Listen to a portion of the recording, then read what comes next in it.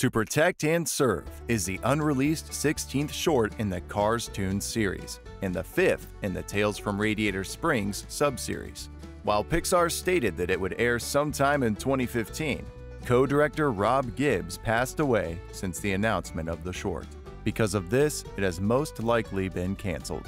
Despite the short having not aired, some merchandise has emerged from it, including die-cast models and a read-along picture book which was released in the beginning of 2015. If anything, this confirms that the short was at least close to being completed by the time of the book's release. No video of the short has ever been shown to the public. However, the book does contain images from the short and gives us a glimpse of how the plot went. The story begins when Sheriff decides to take a mandatory vacation from his duties in Radiator Springs.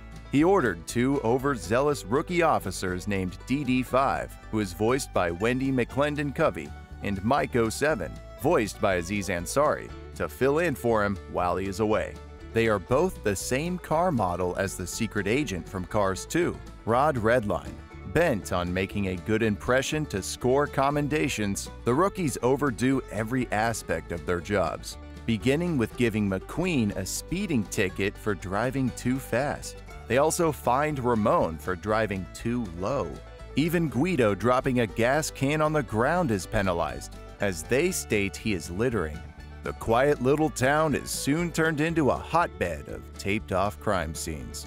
Meanwhile, Sheriff is enjoying his break from work at the Rearview Mirage Hotel as he drifts on a bed of colorful pool noodles in the swimming pool.